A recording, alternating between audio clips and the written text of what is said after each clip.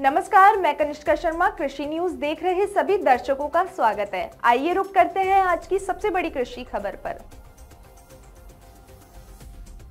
गन्ना किसानों के लिए बड़ी खुशखबरी। पंजाब सरकार ने गन्ना किसानों के लिए राज्य सहमत मूल्य में दस रुपए की बढ़ोतरी की घोषणा की है। साथ ही पंजाब के मुख्यमंत्री ने बताया कि इस बढ़ोतरी के साथ पंजाब पूरे देश में गन्ने का सबसे अधिक मूल्य देगा।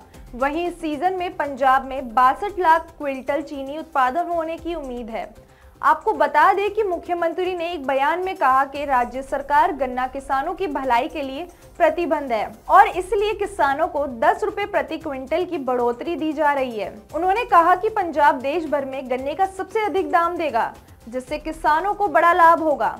जानकारी के अनुसार पंजाब सरकार गन्ने की अग्रणी किस्मों के लिए किसानों को चार सौ प्रति क्विंटल और गन्ने की मध्य पिछड़ी किस्मों के लिए तीन सौ प्रति क्विंटल मूल्य देगी। वहीं सीएम मान ने बताया कि गन्ने का स्टेट एग्रिड प्राइस देश में सबसे अधिक है, जिससे किसानों को आर्थिक रूप से बड़ा फ़ायदा होगा। जानकारी देते हुए मुख्यमंत्री ने कहा कि सरकार समाज के सभी वर्गों की भलाई के लिए समर्पित है और पंजाब सरकार रंगला पंजाब को सृष्टि सुनिश्चित करने के लिए कड़े प्रयास कर रही है। साथ ही राज्य सरकार लोगों के पैसों का उपयोग उनकी भलाई के लिए कुशलता पूर्वक कर रही है, जिससे राज्य में कई जनहितेशी नीतियाँ लागू की गई है। ऐसी और जानकारी के लिए बने रहे हमारे साथ, तब तक के लिए धन्यवाद।